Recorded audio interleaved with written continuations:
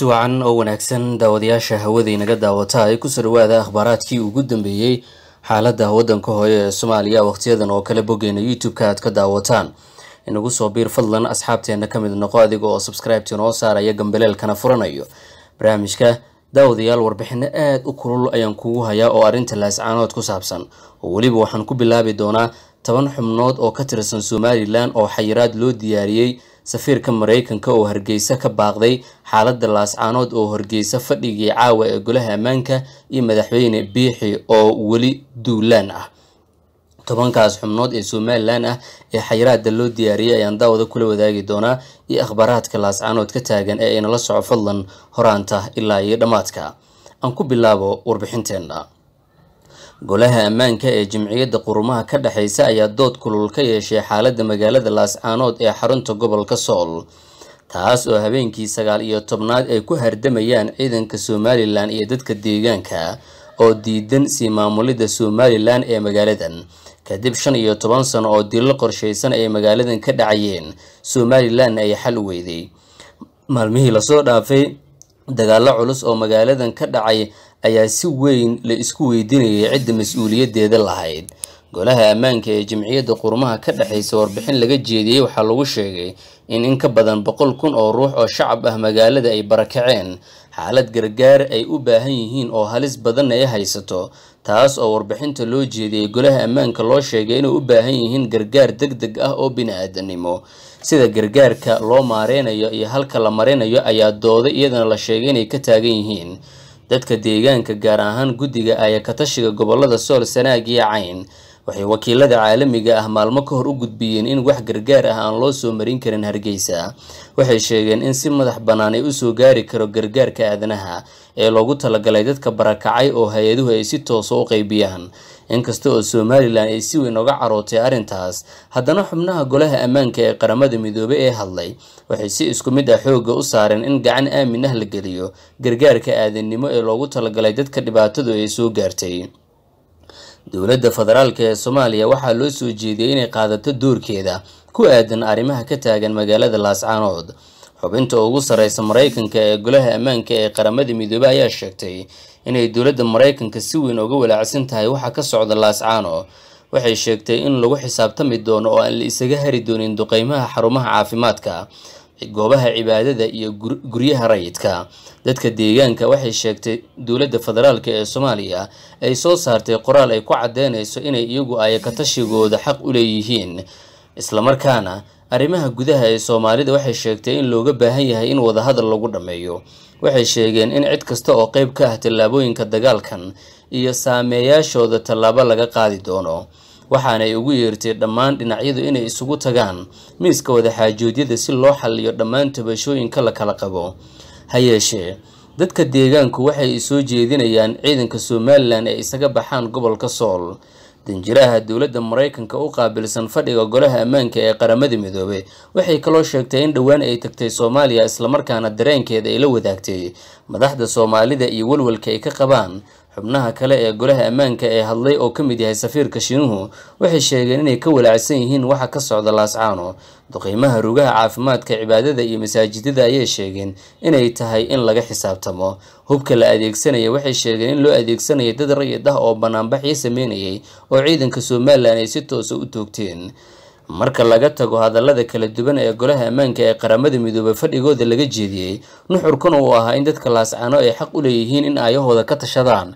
Dowladda soomaaliyeedna looga baahan yahay in arrintaas ay si deg deg ah u farigeliso haddana dhanka kale dadaalka diblomaasiyadda ayaa markaas sii socdaa waxaa telefoon ama qadka telefoonka oo dhex maray somalilan madaxda ugu sareysa iyo wakiilada caalamiga ah ayaa saacadihii la soo dhaafay meelmar noqon waayey.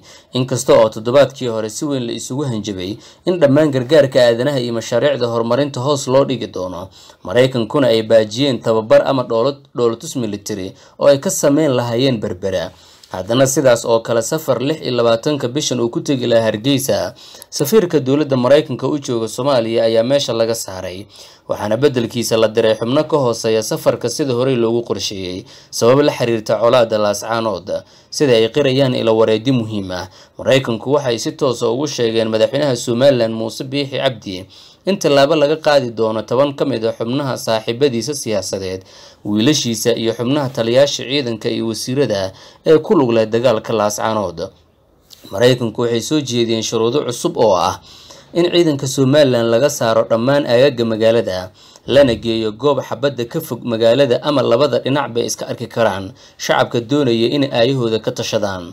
Markaas kadibna ay tahay miiska wadaxaajoodyada in la isugu yimaado.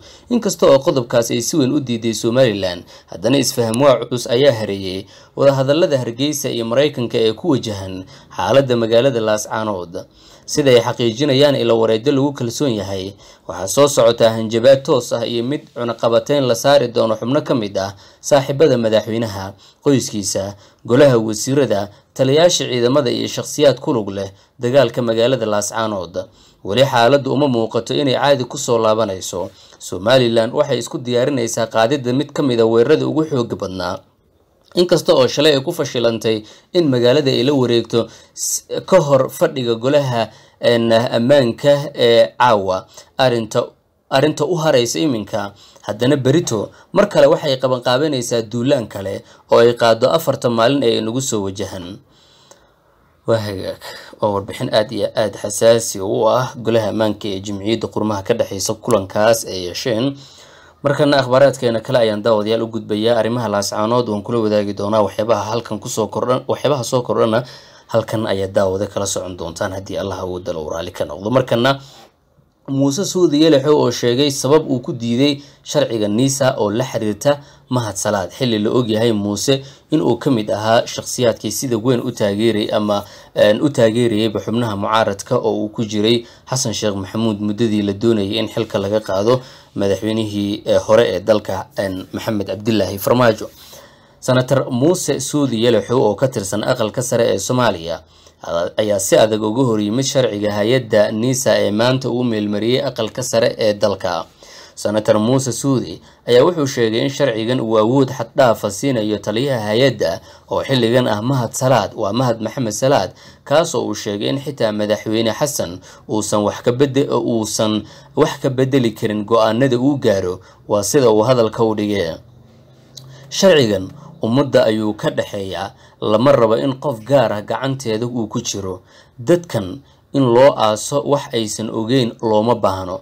Aniga ma qabo in sidii xoolaha inta meel lagu aruurso meel lagu aruursado ansixiya oo gacanta taagan aniga ma qabo ayuu yidhi senatarka senator muuse suudi ayaa ka mid ahaa saddex senatar oo diidmo ugu codeeyey sharciga niisa oo maanta uu meelmariyey golaha aqalka sare kadib markii koob iyo soddon senatar ay ogolaadeen awoodda halkan ugu taalla taliyaha niisa qof ay anfacayso ma lahan. Shay walba keligiisa ayaa magacaaba xilka isagaa ka qaadaa oo saddex keliya ayuu leeyahay. Waxaa ka hooseeya oo dhan isaga keliya weeye. Iyaga waxay qaban karaan waa iska yaryihiin xitaa cid ku xigta ma jiro. Waa taliyaha ayuu ula jeedaaye sidoo kale waxa uu sheegay in taliyaha niisa mahad salaad uu leeyahay awoodda ugu sarreysa ee dowladda wuxuuna yidhi senatarka awoodda oo dhan isaga ayaa leh. Madaxweynaha haddii golaha wasiirada soo qoraan saxiix ayuu ku leeyahay halkaas ayuuna kaga haraa.